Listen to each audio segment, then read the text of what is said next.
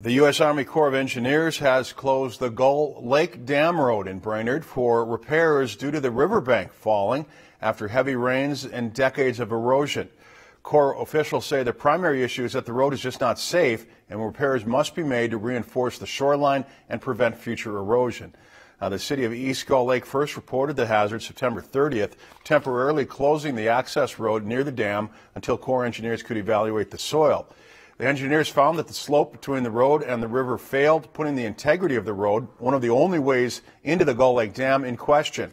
Corps officials say they understand it's a huge inconvenience and they'll be working hard to make the road safe and accessible as soon as they can.